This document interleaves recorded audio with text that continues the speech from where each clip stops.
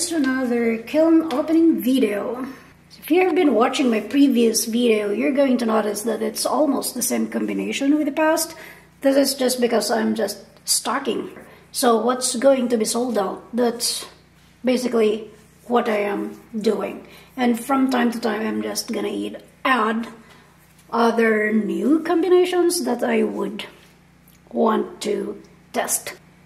So Again, I'm firing at cone 6 with a 6 minutes hold and I'm using a stoneware clay that is the number 3 from Minnesota clay. Yeah.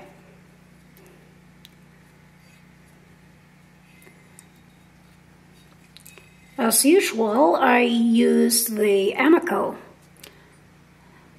Velvet a black velvet underglaze for the black portion. The inside is three coats of iron luster, and on the outside is three coats of iron luster, and on top of it is three coats of oatmeal.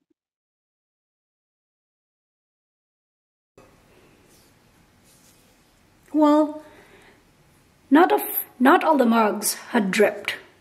I guess I didn't put it thick enough for the thing to drip.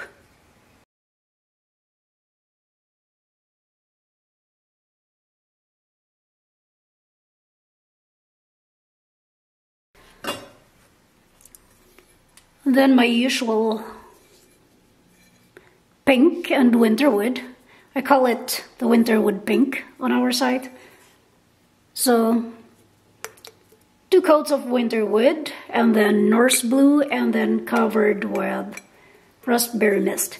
And the inside is just three coats of honey flux. You can see the pink there.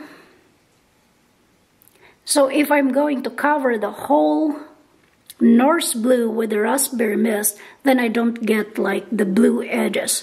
But if I'm going to leave like a little bit of the Norse blue un uncovered by the raspberry mist, it's gonna give me the the blue. It's just a nice combination of the blue and uh, the pink. But since we have a customer requesting that if possible it's only gonna be pink, doesn't want the blue showing up, so I covered everything with raspberry mist. So I don't have the blue showing up on the edge. Same thing with this. That's three coats of honey flux on the inside. Okay. This was carved by my husband since he loves doing that.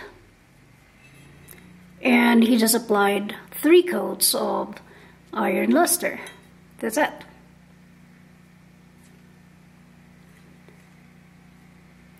Iron luster, same thing with the inside.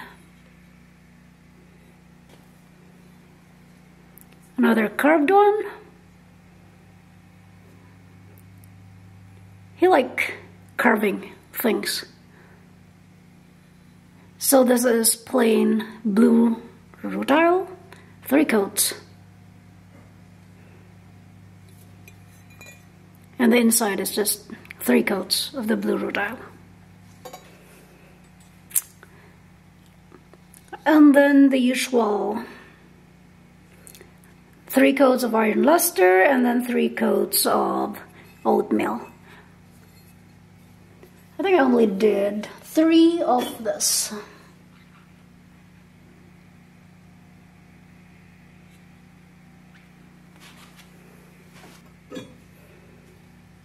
Okay, this is a new thing that I'm trying to do, but apparently looks like there's a crack at the bottom or like a pinhole or something.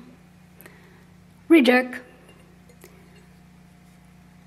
So inside is three coats of honey flux and ah, looks like I only applied a coat of obsidian. My bad. I messed up. So the black portion is two coats of obsidian. I think I need to go back to applying three coats instead of two because I'm getting this. But then I kind of like the the transition. You can see there's like the blue and that is the honey flux covering slightly the obsidian. So I applied the obsidian two coats from here up to this point and then three coats of honey flux slightly overlapping the obsidian and I think that's what's causing the blue. I don't know if I took a picture but I'm gonna show if I did. On the rim part, just like probably half an inch, is three coats of Chun Plum. So from the Chun Plum up to probably half, another half an inch or probably an inch is three coats of textured turquoise. And this just created this green and there's the reddish because of the Chun Plum. And then you can see the remaining honey flux.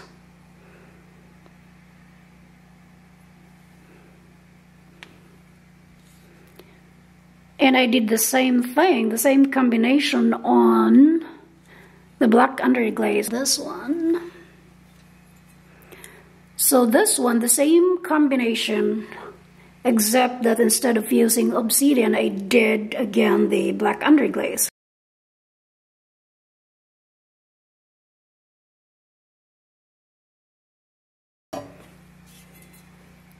my usual three coats of honey flux inside, two coats of winterwood, and then just light flux.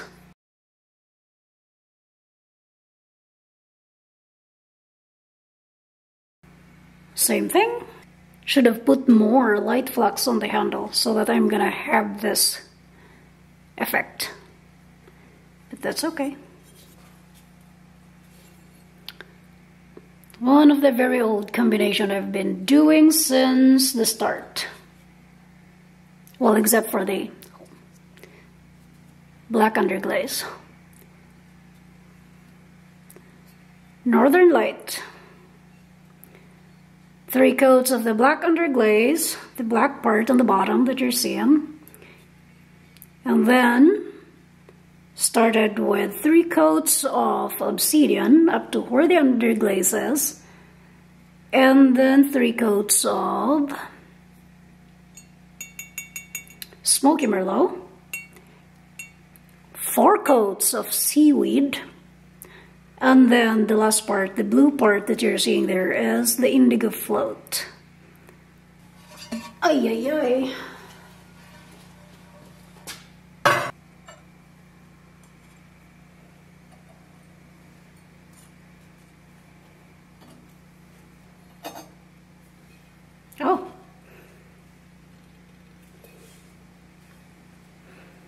Minnesota mug.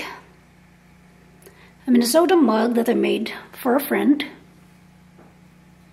I think I did two. One I used the black underglaze and the one I used the obsidian. This is a lot of blue going on.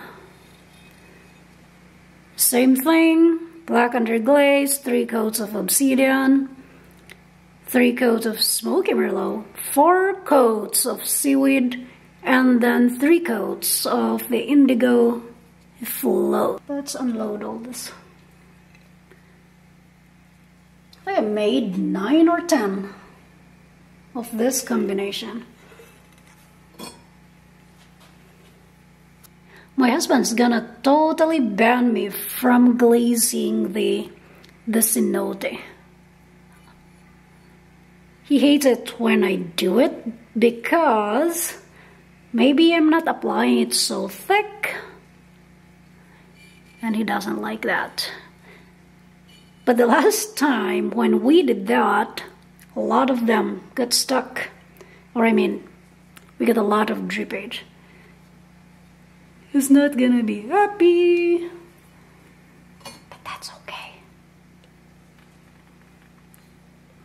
Oh, by the way, this is Cenote, light and dark flux. Oh my god. Still beautiful, but a uh, little bit disappointed. Well, I guess not all of them.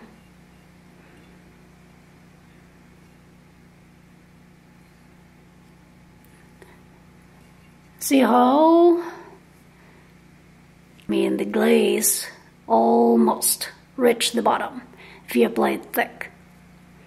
Inside it's just plain two coats of Cenote and the other part is I just let put light flux up to this and then dark flux. I think I made probably six of this one. Okay, more of the Winterwood Pink.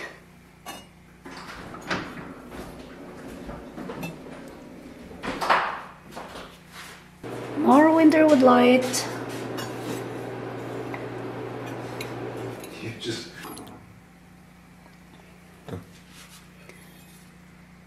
Minnesota mug again with the northern light combination, but this time this is the obsidian and not the black underglaze.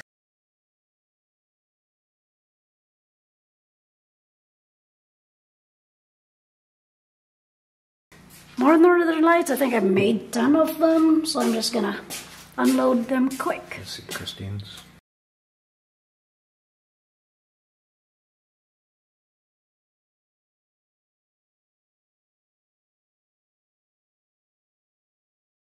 to Winterwood, Norse Blue, and then the pink.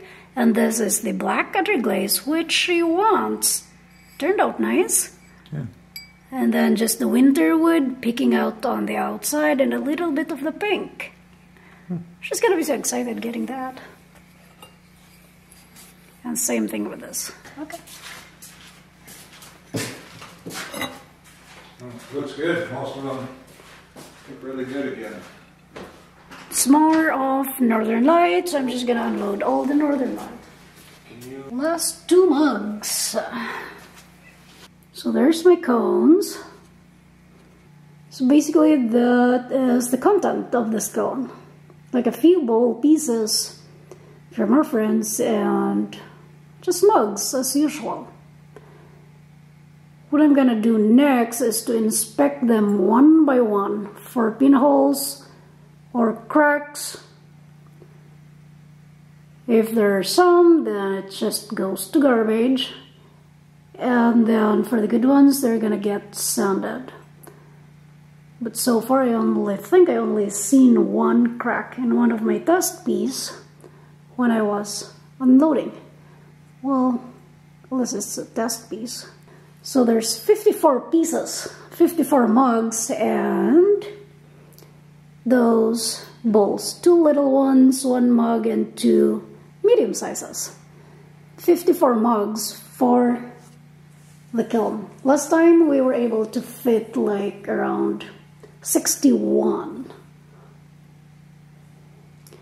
Alright guys, thank you for watching. I will be seeing you on the next kiln opening video.